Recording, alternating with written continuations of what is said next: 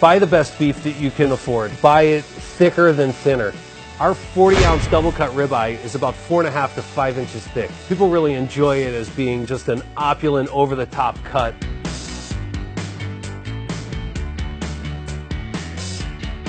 So the first step in doing this is getting the chili rub made. First you put the two cups of oil and you allow it to get hot. Then we're going to add the garlic and the jalapenos and we're going to sort of cook those out for two or three minutes. Then we're going to add our dried spices, coriander, cumin, chipotle powder, paprika, and we'll allow those to bloom for about 30 seconds. And then at the end there, we're going to add the cilantro and we'll lower the heat at that point and just let it cook out for a little while. To finish that off, pulse it with either a hand mixer or in the blender. You don't want to blend everything super smooth. You want to have a little bit of coarseness and then allow it to cool and then we'll use that on the steaks later on. So to season the steak, we use coarsely ground black pepper, kosher salt, and corn oil. We season it generously. It looks like is you're over seasoning it, but as it cooks, it's going to run off and it'll be perfectly seasoned at the end. And then we're just grilling our steak. As your steak grills, just season those onions and, and the jalapenos and the sweet peppers and just sort of get your grill mark and allow those to cook.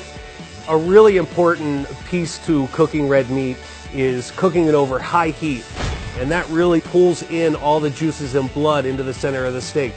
Once they come off the grill, we'll allow them to rest for about three to four minutes and all that juices sort of make their way back out towards the exterior of the beef. And then we'll slice it. We'll add them to that black cast iron or the hot cast iron pan.